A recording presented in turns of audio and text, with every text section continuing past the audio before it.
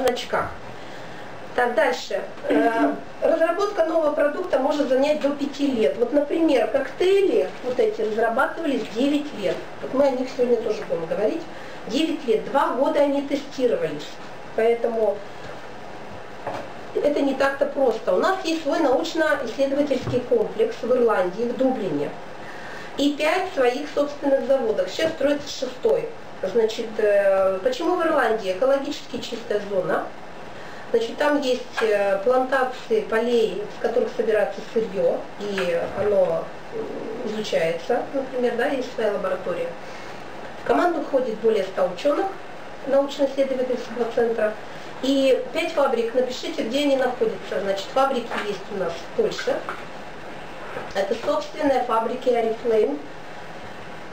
Oriflame э, это шведская компания. Швеция очень маленькая страна, она не может вместить огромное количество да, фабрик на своей территории, поэтому они разбросаны по территориям различных стран для того, чтобы было удобно людям подвозить товар. Значит, Швеция, Индия,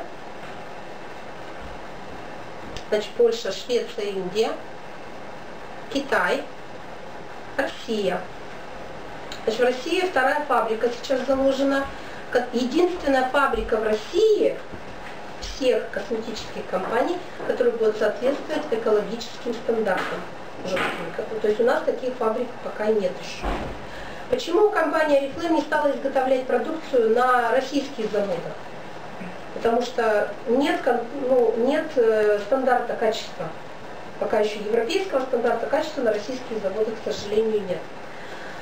Значит, э, теперь что, о чем говорит то, что вот заводы есть? Вот я беру крем, написано «сделано в Польше». Да, вот этот крем для рук, э, олива и бамбук.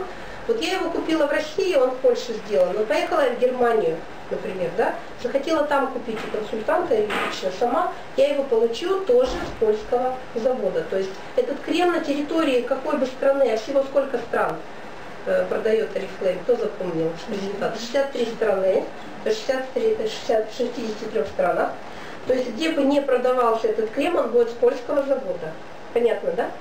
Значит, 50% Oriflame делает продуктов на своих заводах, 50% на смежных европейских поточных линиях.